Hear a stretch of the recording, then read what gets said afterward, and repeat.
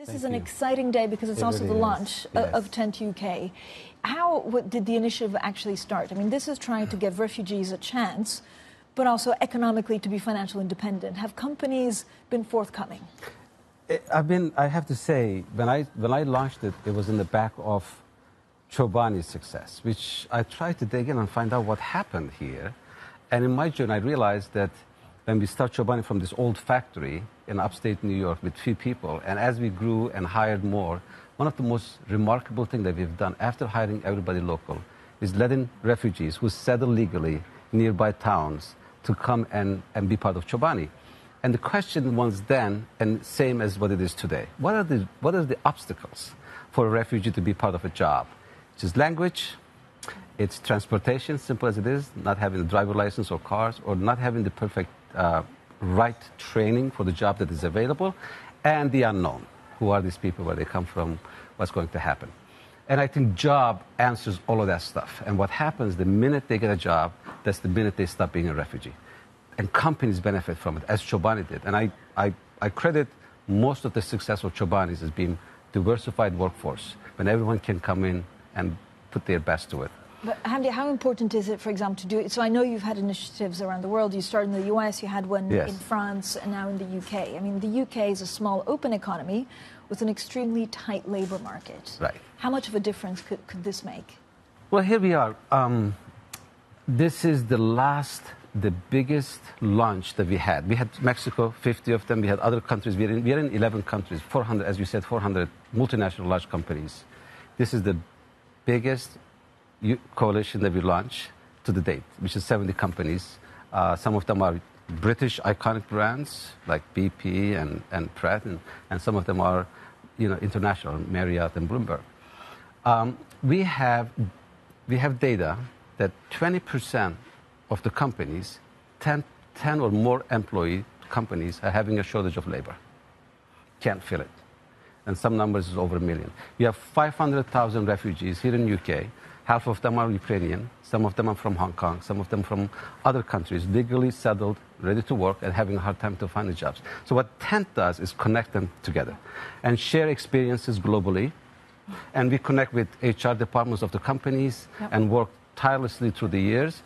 And our office here in UK in, in the service of companies to make sure that it's a success. Hamdi, why do you think chief executives want to do this? Is this because they want to do good, because it's the right thing Right. to do, or is it really to fill a vacuum in the workforce? I- I think it, it had, we- call, we call this win, win, win, win, win, and it never ends. It continues to win. I mean, it's good for the refugees. It is the minute they're, they're back to their life. Second, companies benefit from this dramatically, dramatically.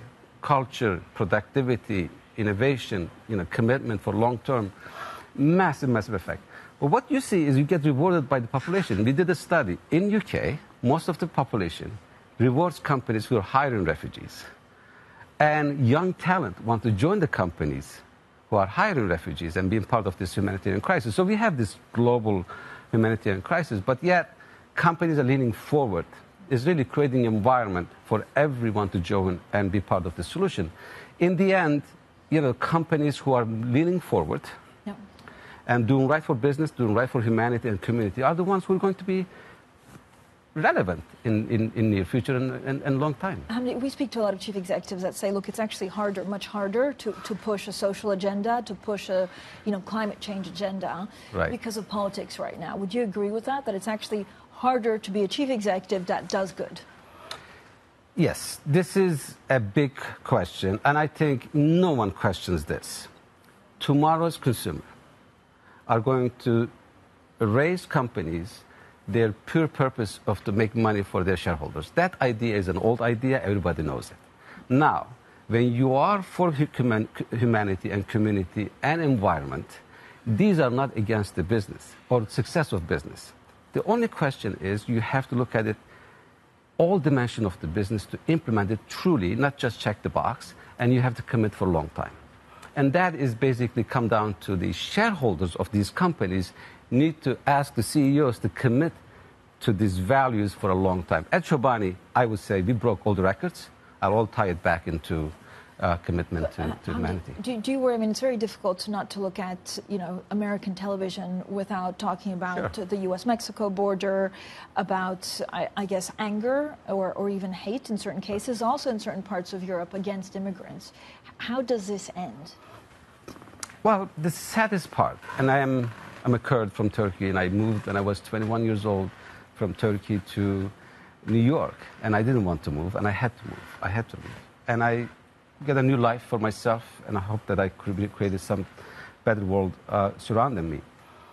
Migration is a reality. It's going to be here and be here for better. If it's not conflict, it's going to be, um, uh, you know, famine. It's going to be environment, and it has been throughout the history, throughout the year.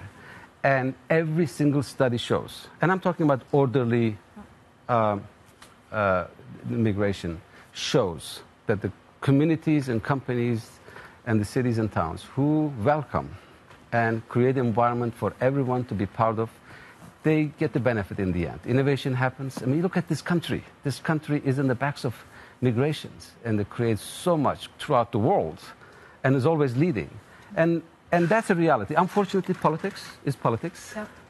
Um, and you look at the reality uh, in the U.S. right after the last election and after politics, all the cities and you know the states that they know that how the refugees and, and, and, and, and illegal immigration does in their community, they want them in their towns and villages because always something new comes out. And it's a reality.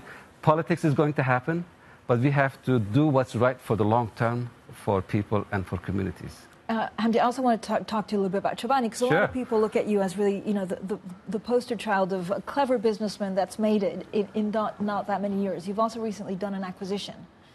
So now you have coffee. I'm coffee, As yes. an Italian, it really speaks to me. But how are you expecting that market to grow? And how do you expect the two to play, you know, yogurt and, and coffee? Yeah, I, I think in the US, and I had an attempt in UK, people don't know, I was talking to, to my driver as we were coming here. I tried to enter in this market. I end up making it in Australia. We are number one in Australia. And one day I might, I might come. I love this country. Um, food is an exciting place uh, back to natural, back to good ingredients, especially the post pandemic, has been a reality. And, you know, ingredients, of course, accessibility, these are major, major things. So we built Chobani with very simple idea. Good food is filled with good ingredients and accessible price and available for all. And that idea worked. And now we're expanding. So we added oat milk, we added coffee creamers, which is poof, and designed in, in Italy, in uh, Florence. My friends, they, they designed the packaging. And now we are adding coffee. Uh, I think the food and beverage is having the second spring, in my opinion. But is it changing? I mean, we speak yes. a lot, you know, also to Novo Nordisk because of Ozempic and, yeah. and some of these, you know, weight loss drugs. Yeah. What's the relationship going to be? I like? think I think post-pandemic, people understood that food is extremely important, how they consume what they consume.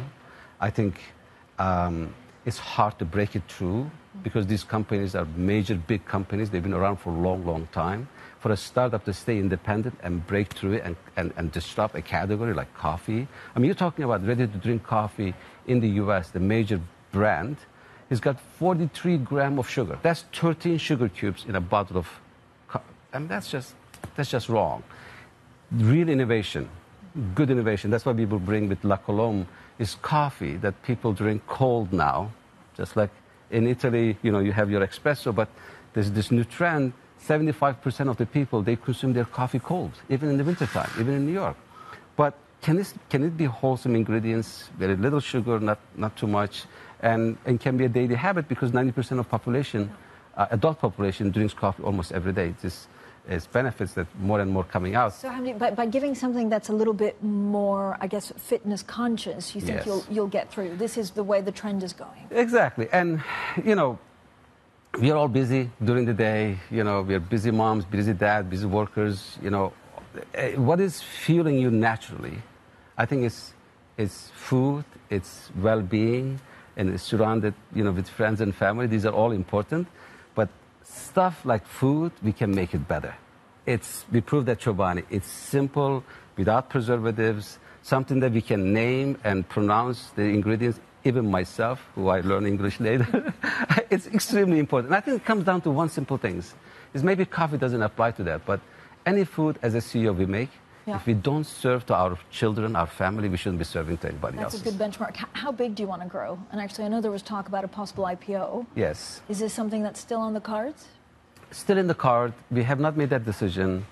Uh, company is in a very healthy place. Um, we grow double digit volume and, and, and, and dollar, gain shares. Um, it- it's pretty amazing what's happening at Chobani. I, I contribute to all the people that, that, that passionately work at the place.